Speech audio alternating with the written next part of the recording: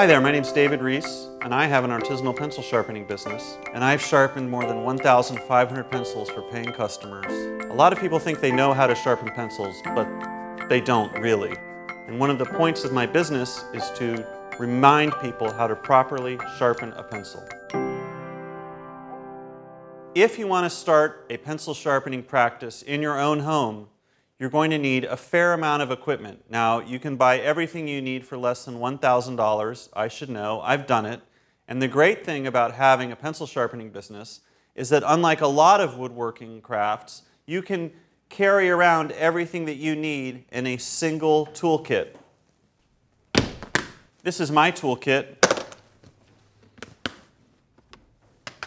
These are pencils. Number two pencils, the only type of pencil that I sharpen, and the type of pencil that we'll be sharpening today. Pencils are probably the most important component in a pencil sharpening business. You can sharpen a pencil without a pencil sharpener, but you can't sharpen a pencil without a pencil. I also have uh, a rag for wiping away residue and cleaning a pencil point. I use uh, an old Wu-Tang Clan t-shirt, but that's not necessary. You can use any old white rag as long as it's made out of cotton and is an old rap group t-shirt. These are the shatterproof plastic display tubes that I use for shipping pencils through the mail to satisfied customers around the world. Here are the labels that I affix to the shavings bag and the plastic display tubes into which I put the pencils. This label will contain the information job number, date, lighting condition, sharpener used, pencil number two, yes or no, always yes, sharpness rating, and sharpener operator initials. This is one of my favorite sharpeners. It's a replica of an old American sharpener from 1905. The way it works is pretty obvious. This is how someone in an office might have sharpened a pencil more than 100 years ago. This is an unopened pencil sharpener from an Asian country, Japan. And finally,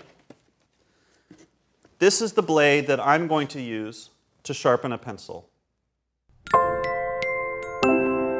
Here are some pencils. These are number two pencils. It's our responsibility to choose a pencil that's worth sharpening. The first thing you want to do is make sure that the graphite core of the pencil, what you might know as the pencil's lead, even though it doesn't have lead in it, it never has had lead in it, still you can be forgiven for that misnomer, is it centered within the barrel or the shaft of the pencil. If it's off center, it's going to be harder to make a consistent conical point. You also should make sure that the shaft of the pencil is straight, that there's minimal bowing to the shaft of the pencil. Why not work with a pencil shaft that's straight rather than one that's bowed? So this is the pencil that I'll sharpen. You should take a couple hours to look through your own home and find a pencil that's suitable for you to sharpen. Now, you're going to be holding the pencil in your non-dominant hand and holding the knife in your dominant hand. Once you have both items in hand, simply return the pencil to the tabletop because we have to sharpen our knife. As anyone knows, whether you're a woodworker or a chef or a bandit in an alley, the most important tool in your toolkit is a properly sharpened knife. And to that end, we have here a leather strop that I'm going to use to sharpen my knife. You should have one of these in your basement or in your grandfather's uh, tomb. You'll be able to find a leather strop, and we're simply going to take just a few moments to rub our knife blade back and forth on this leather strop so that it's nice and sharp. Once your knife is sharpened, return the strop to its resting place before anyone knows it's been missing. And now, pick up your knife, pick up your pencil, and get ready to journey backwards through time at a terrific velocity as I teach you how to point a pencil. There are a superabundance of pencil sharpening technologies available to us these days, but it makes sense for us to pick up these tools and maintain the consistency of this old-timey practice. It connects us to our forebears, our ancestors, and it also teaches us that there's nothing to be afraid of and there's nothing to be ashamed of when it comes to sharpening a pencil with a straight blade. You can spend all day admiring the platonic ideal of a pencil in your mind, but at some point you need to actually sharpen the goddamn thing and put it to the page and write your grocery list. Pencil in non-dominant hand, knife in dominant hand. Now we're going to be working in several discrete stages here. The first step is going to be to simply expose the graphite that's lying in wait within the wood of the pencil shaft. Once we've exposed the graphite, we can shape the graphite and produce an iconic or less than iconic or horribly ugly pencil point, okay? So our first step is to place the blade of the knife against one of the edges or ridges of the hexagonal shaft of the pencil, and then, if you can see this, propel the knife towards the unsharpened end of the pencil by the thumb of your non-dominant hand, which is holding and rotating the pencil. Err on the side of too long a pencil point, that is to say, maybe, a, maybe the, a thumb knuckle's length away from the unsharpened raw end of the pencil. And as we rotate the pencil shaft, we're going to notice that with each successive swipe of the blade, the ring of safety, okay, the wooden ring of comfort, that aperture is closing in on the graphite core. And you can see now that sure enough, I am exposing the graphite that was hidden inside the shaft of the pencil. I am moving with such a delicate hand that I have exposed the graphite while producing minimal divots and almost no scratches. So I have a nice unblemished graphite cylinder to work with in conjuring my finished pencil point.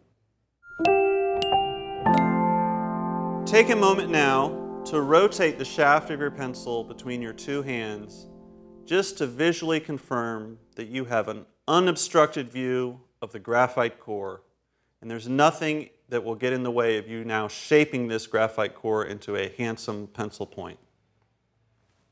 Great, we've completed the first stage of the pencil pointing process. So we reach now for our sanding block or our high grit sandpaper, any fine abrasive surface that we want to make the iconic pencil point shape with our uh, graphite. So you take your pencil in your dominant hand and just begin rubbing it against your abrasive surface and rotating it as you rub. As I said, this is delightfully messy and wasteful, and I have been criticized by friends of mine, contractors, luthiers, woodworkers, who think that this is too wasteful.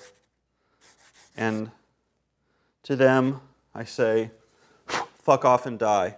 Okay, and every so often you should take your rag and clean it off and check in with your pencil point and see what you're dealing with. So here again, if you were to pick up this pencil on a crowded desktop, you would say two things. You would say, oh, how delightful, a properly sharpened pencil just when I need it most. And then you would say, as you rotated the pencil and admired a certain hardscrabble authenticity in its shaping, you would say, well, here's one pencil that definitely wasn't shaped by an electric pencil sharpener, and dare I say wasn't even shaped by a single burr hand crank sharpener, not to mention a double burr hand crank sharpener. This, friends, is a pencil that was sharpened by hand, enjoying the same tradition of excellence that our forefathers and foremothers enjoyed, going back to the mid 16th century, which was the birth of the modern pencil. And now, once you've finished uh, with your pencil, you're going to put down your knife uh, and put the pencil in your non dominant hand, and then put your uh, dominant hand closer to the edge, uh, the end of the pencil, and then simply destroy the pencil and throw it away because that was the first of hundreds of pencils you'll be sharpening and you're only going to get better at it. So don't look back, ever onward. That's our motto. So destroy your pencils now.